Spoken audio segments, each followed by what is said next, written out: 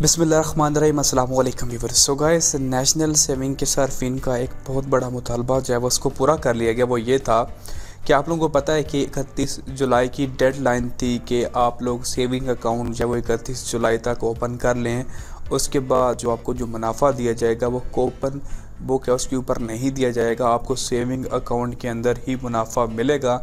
सो उसमें क्या आता है कि अगर आपका सेविंग अकाउंट ओपन नहीं है तो आप मुनाफा नहीं ले सकते हैं। तो आपको मुनाफा लेने के लिए सेविंग अकाउंट को ओपन करवाना लाजमी था। और जैसा कि आप लोग जानते हैं कि नेशनल सेविंग की ब्रांचेस में कितना रश होता है, लाइनों में लगना पड़ता है और जा, तब जाके आपका काम होता है।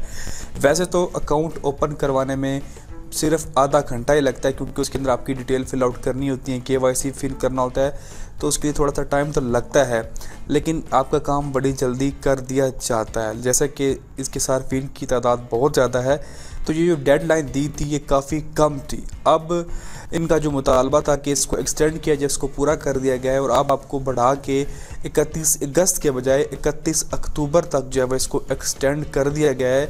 अब आप अपना जो सेविंग अकाउंट है वो इकतीस अक्टूबर तक ओपन करवा सकते हैं। उससे पहले आपको जो मुनाफा है कोपन बुक पे भी मिलेगा और आपके पास अब काफ़ी मौका है, तकरीबन डेढ़ माह है आपके पास, एक महीना और आठ दस दिन है तो आप आसानी से अकाउंट को ओपन करवा सकते हैं। थोड़ा सा टाइम लगेगा।